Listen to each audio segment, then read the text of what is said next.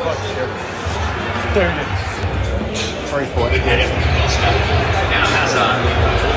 Between me and the goal. Off that thing is to stay with him against. Still Hazard. Yeah! 1 0. That's a massive Ramsdale fucker. Timo! Timo! Timo! Timo! Timo! Yeah! Come on, bang! Hey Paul, what's happening? And it's the day after the game last night.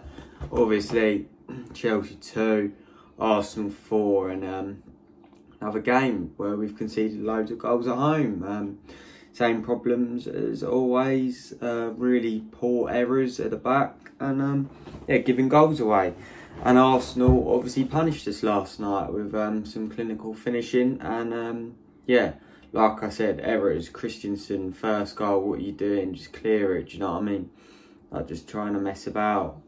Second goal, just poor, easy for Smith Rowe. Third goal, lucky, but Sarr's got to clear it. And then fourth goal, what are you doing, Dave? But all in all, we're in trouble.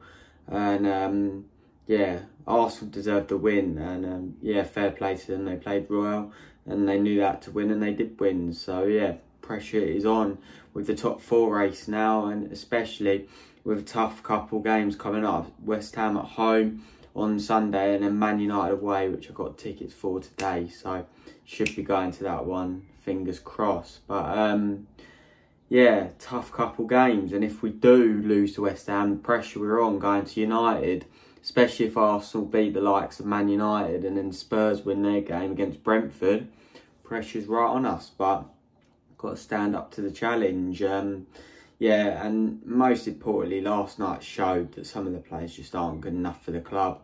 We knew it already. The likes of Christensen, yeah, whatever. See you later, mate. You've you you can go to Barca. Do you know what I mean? We're not worried at the moment with him. Um, Sarr, poor, poor, poor performance. Honestly, so poor. Like I've never seen the fans turn on players so much. And the point I want to get into is Romelu Lukaku. What is happening? It just looks worse and worse every time he plays. Like he gets his opportunity. Arsenal, he knows he can bully him. He bullied him in the first game when we beat him 2 0. And in that game, we all thought, all right, here we go, we could actually do something this season.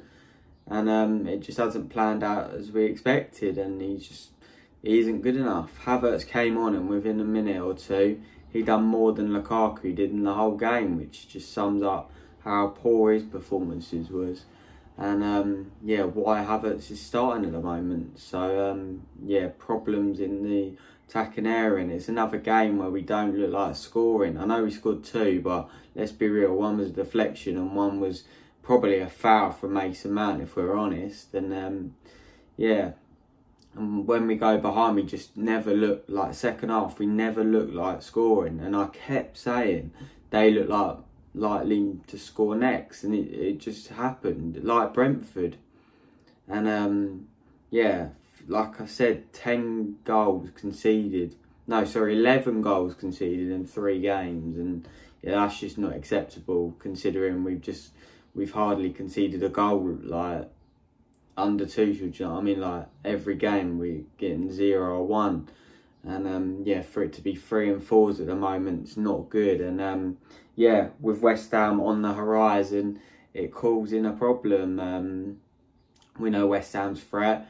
But all we can hope is that they're focusing on the Europa League, but it might spur them on if they can win, if they can get a bit of confidence. And um, yeah, they'll want a starting place in the side against Frankfurt. But um, let's see what happens. You've got to go to West Ham and win.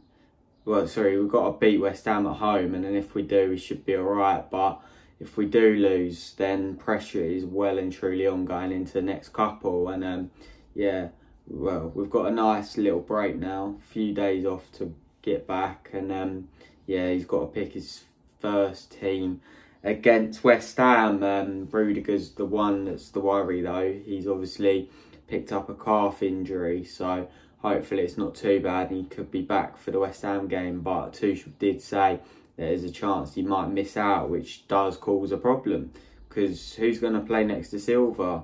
Like defensively, we're just so poor at the moment, and it needs to be fixed. And if it does, we'd be alright for top four. But if West Ham fucking turn a couple goals against us, we could be in real trouble of missing out in top four. Simple as that. But got to pick ourselves up, get top four, and then go to that cup final and hopefully do them lot up north. But um, yeah, let's see what happens. Up the Chels, we keep going.